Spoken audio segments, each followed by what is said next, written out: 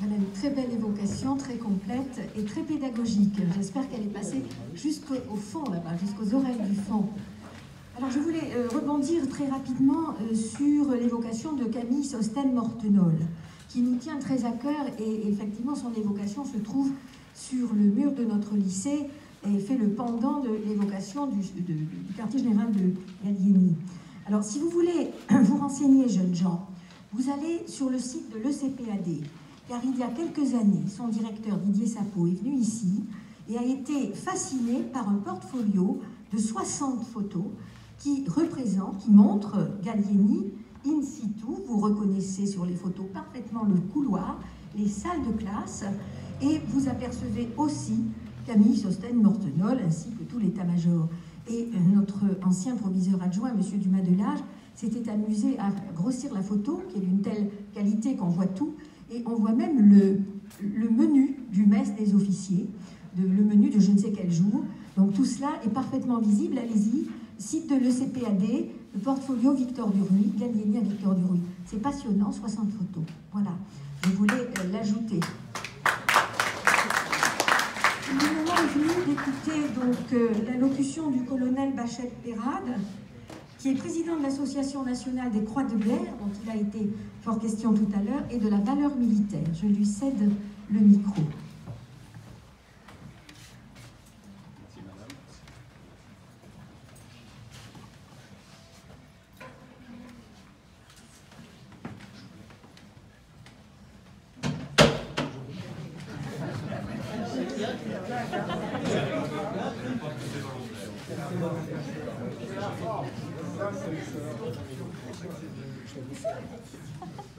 Merci Madame, euh, merci Monsieur le Proviseur de bien vouloir nous accorder quelques temps pour euh, vous expliquer, euh, si besoin en était, hein,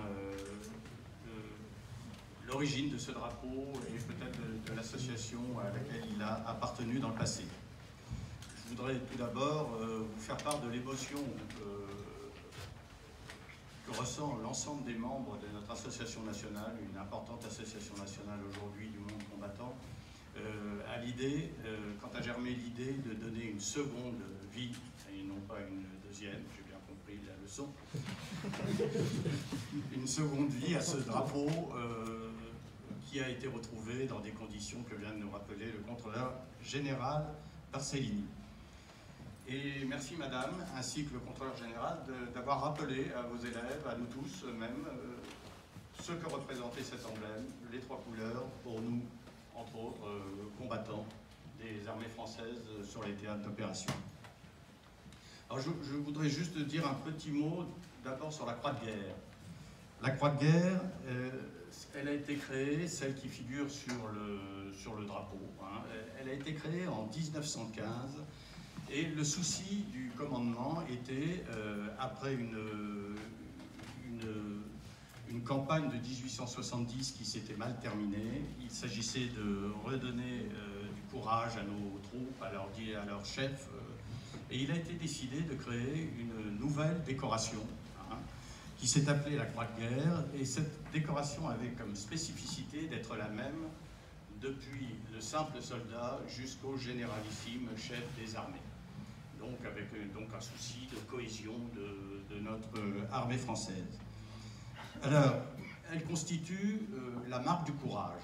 Euh, courage pour des actions d'éclat individuelles des soldats engagés dans des durs combats sur les théâtres d'opération, mais également elle a été décernée à titre collectif à des euh, unités militaires, en général pour leur succès, hein, aux villes et communes.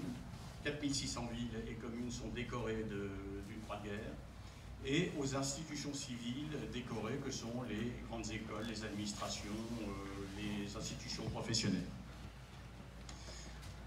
Aujourd'hui, bien sûr, les guerres déclarées n'existent plus.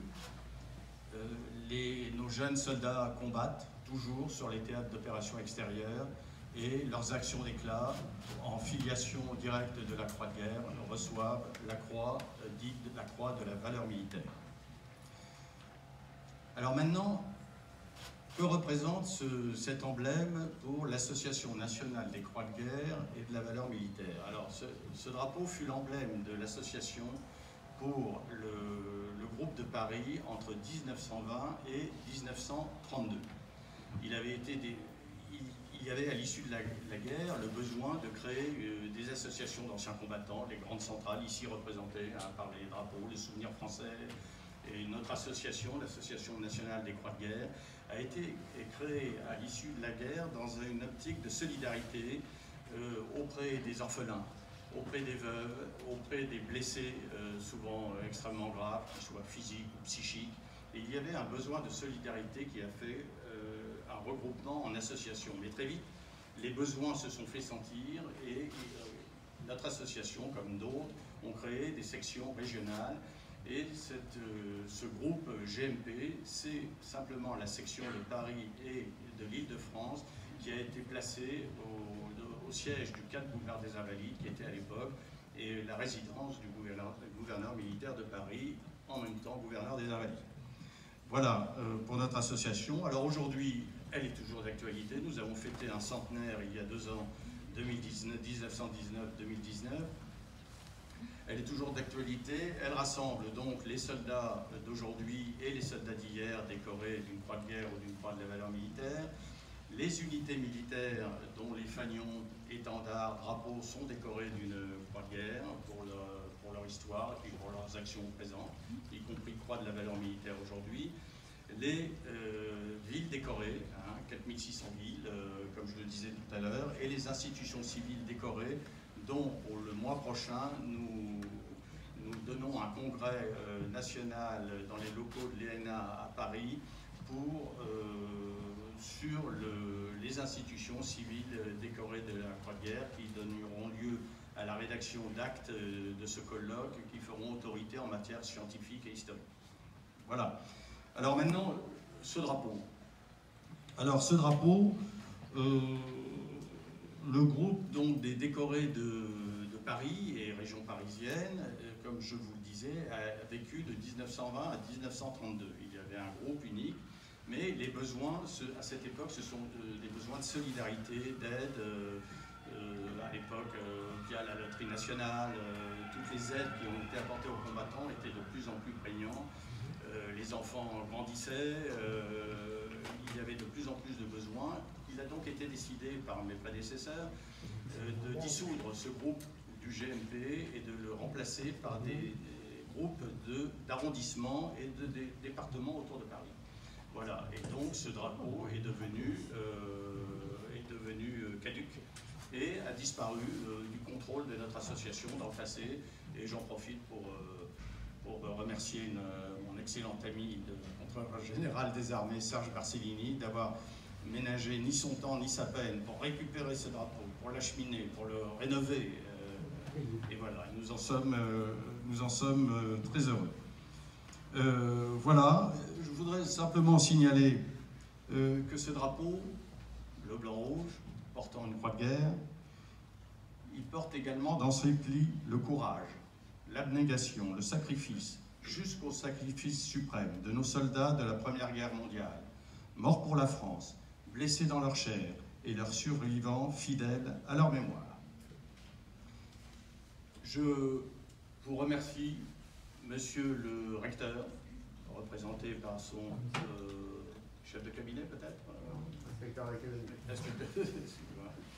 Euh, monsieur le proviseur, d'avoir euh, bien voulu accepter cette, euh, cérémonie, et Madame, de nous avoir rappelé tous ces moments historiques et ces, mots sur le drapeau qui nous est cher. Et puis le contrôleur général Barcellini.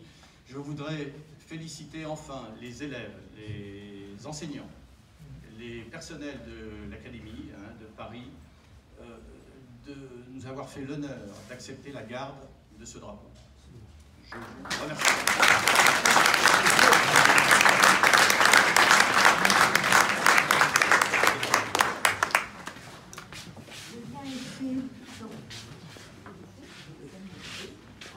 Ah, vous voulez pas le montrer, vous êtes...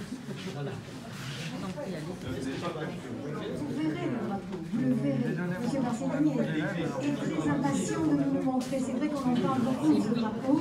Mais il est là, je vous assure, le porte-drapeau aussi, son baudrier et ses gants sont prêts, tout est prêt, et vous verrez comme ce drapeau est plus militaire que moi.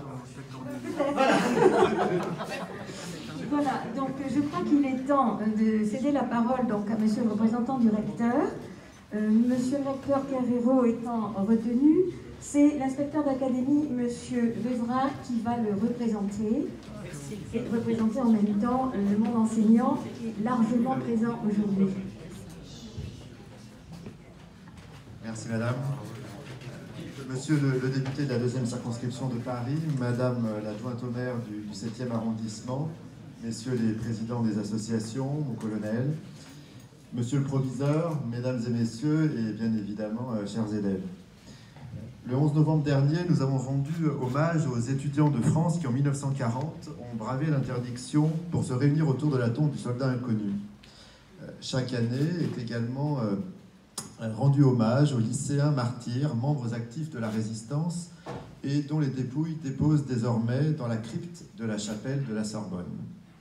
Preuve s'il en est que face au danger, durant les heures sombres, notre jeunesse a su se mobiliser au nom de son idée de la France.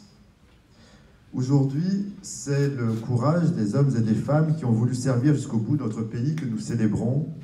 C'est leur mémoire que nous perpétuons auprès des jeunes générations en remettant solennellement le drapeau de l'Association nationale des croix de guerre et de la valeur militaire, euh, groupe du GMP, au lycée Victor Duruy.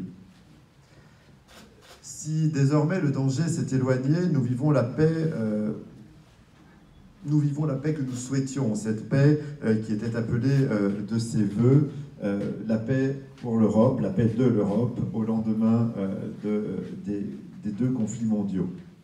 Mais la présence entre ces murs du drapeau de, de l'association replace la paix au cœur, replace le drapeau pardon, au cœur de notre patrimoine vivant.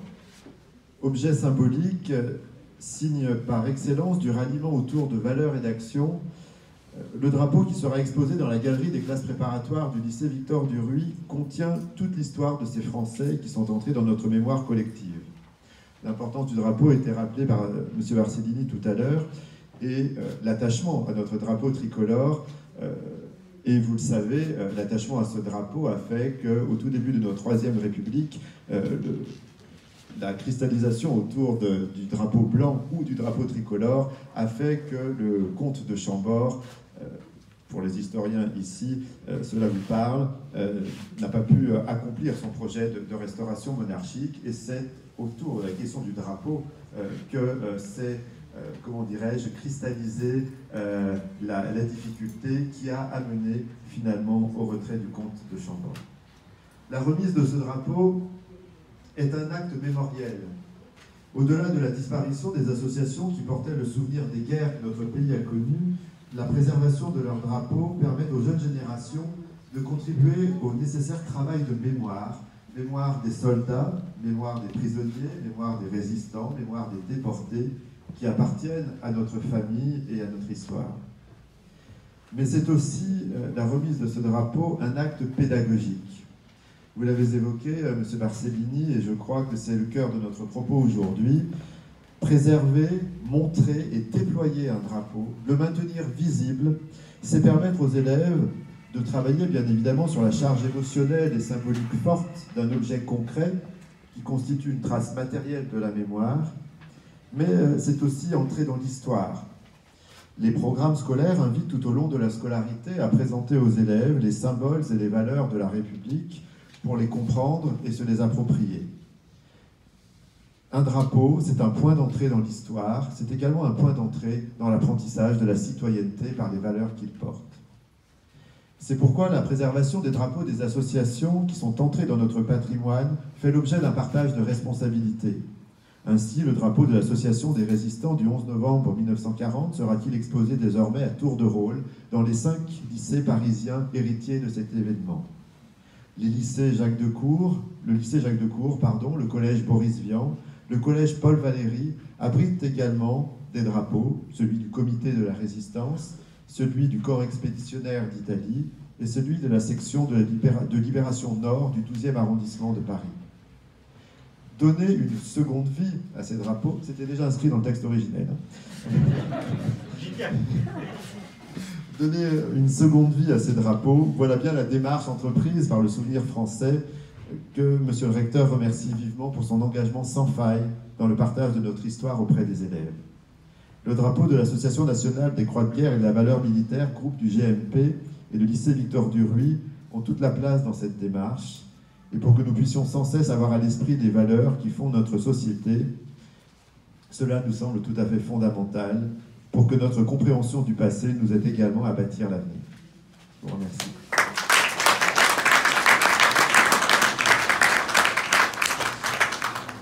Merci beaucoup, monsieur l'inspecteur. La parole vient maintenant à le- au député de notre circonscription, monsieur Gilles Legendre. Bien, bon- bonjour à tous. J'ai cru comprendre que la hâte de découvrir le drapeau supposait que nous fassions des discours courts. Donc je vais essayer de, de m'y tenir. Je voudrais d'abord évidemment partager l'émotion que je ressens à partager cette cérémonie avec vous. Et je pense que cette émotion va grandissante au fur et à mesure que nous écoutons les différentes évocations qui nous ont été offertes depuis le début de cette cérémonie. Le président du Souvenir français disait tout à l'heure qu'il nous considérait tous comme des historiens. Une chose est certaine, nous serons beaucoup plus historiens à la fin de cette cérémonie qu'à son, début. Je voudrais évidemment remercier toutes celles et tous ceux qui ont permis que cette cérémonie ait lieu, avec une mention particulière pour les porte-drapeaux, les représentants des associations d'anciens combattants, du Souvenir français. Nous étions visages connus et amis partageant euh, les cérémonies du 10 ou du 11 novembre avec la maire adjointe du 7e arrondissement, mon amie Josiane Gaude. Euh, je pense qu'il est extrêmement important que ces rencontres se multiplient. Et toutes les occasions sont bonnes pour ça. Alors, il a été dit de très belle manière l'importance de cultiver la mémoire dans notre pays. Et je pense que c'est en effet quelque chose d'essentiel. Il y a de multiples occasions de la cultiver. Le 11 novembre, je ne sais pas si vous y étiez ou si vous avez regardé la télévision, la cérémonie des transferts des cendres d'Hubert Germain à la, au Mont-Saint-Valérien était une très belle cérémonie. Une cérémonie à laquelle nous étions tous invités à nous unir, quelles que soient nos origines, nos localisations, nos territoires, nos catégories sociales, nos opinions politiques, bien sûr. C'était quelque chose pendant lequel nous faisions nation. Alors le mémorial, ça peut paraître un peu abstrait, mais c'est très simple. Et d'une certaine manière, ce qui se passe aujourd'hui est le symbole de cet enjeu. Nous célébrons une histoire plus que centenaire. Et en même temps, nous la célébrons dans un lieu qui, par définition, prépare notre avenir, puisqu'il est chargé de former ceux, vous, mesdemoiselles, messieurs, qui êtes en apprentissage, adolescents, qui va aller construire notre pays, qui allait construire notre avenir. Et ce point de, de rencontre entre le passé et le futur, je le trouve formidablement symbolique et j'espère que nous le vivons tous avec la même intensité. Évidemment, aujourd'hui, les choses ne se présentent pas de la même manière. Ah, encore que, il y a des jeunes hommes et des jeunes femmes qui risquent leur vie pour notre pays. Ah, ils sont moins nombreux qu'en 1914, ils sont moins nombreux qu'en 1939, ils sont moins nombreux dans la résistance, dans les conflits qui ont suivi ces grandes tragédies, mais ils risquent leur vie. Et régulièrement, vous ouvrez, vous allumez votre poste de télévision, votre poste de radio, et vous apprenez qu'un soldat est tombé au Mali, au Sahel, pour défendre les valeurs que leurs prédécesseurs, ceux que nous célébrons aujourd'hui, ont défendues vaillamment, héroïquement. Mais on n'est pas obligé de pousser si loin le sacrifice pour être un vrai patriote. On n'est pas obligé d'être un héros. C'est pas une nécessité. En revanche, il y a un devoir qui s'impose à nous toutes et à nous tous, c'est le devoir d'engagement. Nous sommes dans un pays qui nous donne beaucoup, qui nous donne une éducation. Vous êtes là pour en témoigner. et ici dans ce lycée, une particulièrement bonne éducation, eh bien, elle a une contrepartie. Ce que nous donne ce pays a une contrepartie. C'est l'engagement. On dit souvent, les jeunes, ils ne veulent pas s'engager, ils ne veulent pas faire politique, ils ne votent pas. C'est pas complètement faux. Mais ils s'engagent. Vous devez vous engager. Vous vous engagez où vous voulez. Vous pouvez vous engager dans l'armée. Vous, vous voulez vous engager dans le service national universel pendant une courte période. C'est une forme d'engagement. Vous pouvez vous engager dans le monde associatif, dans le monde humanitaire, dans le monde sportif. Il y a de multiples occasions de vous engager, mais cet engagement-là, il est d'une certaine manière une manière de rembourser, de vous souvenir, de rembourser les efforts, les sacrifices qui ont été consentis par les héros qui ont jalonné notre histoire et que nous célébrons aujourd'hui. Je vous remercie.